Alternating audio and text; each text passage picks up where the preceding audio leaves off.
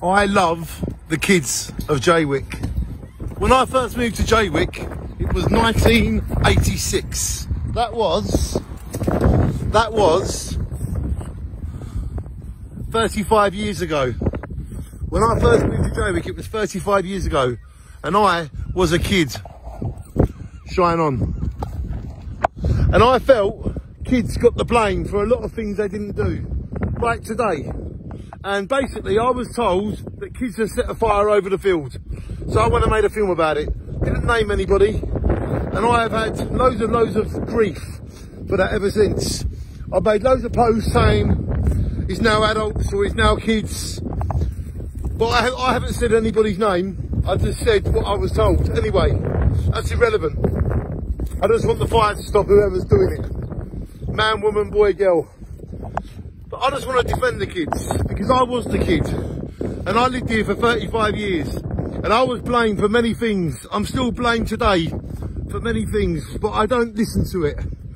I just let them get on with it. If they want to waste their time living in hate, making people feel horrible, then that's their life, not mine. I would never lie myself to their level. But I want to stick up for the kids of Jaywick because they're great kids. And I had to travel to Colchester on a bus and a train to train to be a bricklayer. And I did that for six months to a year. And on only £30 a week, I spent my wages on travel alone. But I still did it and I never gave up. And the kids today, they got a similar battle. So how about we support the kids and love them? And I love the kids of Jaywick. And I am a kid of Jaywick. And I know exactly what's going on for them. And I want to help them fulfill their destiny. I want to train them all up give them professional careers, whatever they want.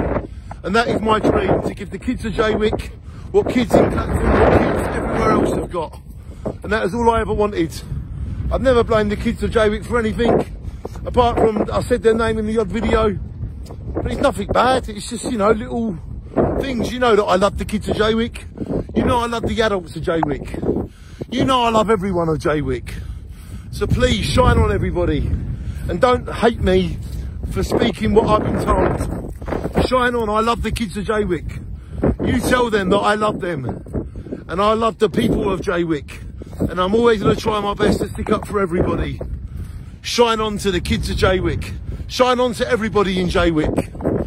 Shine on.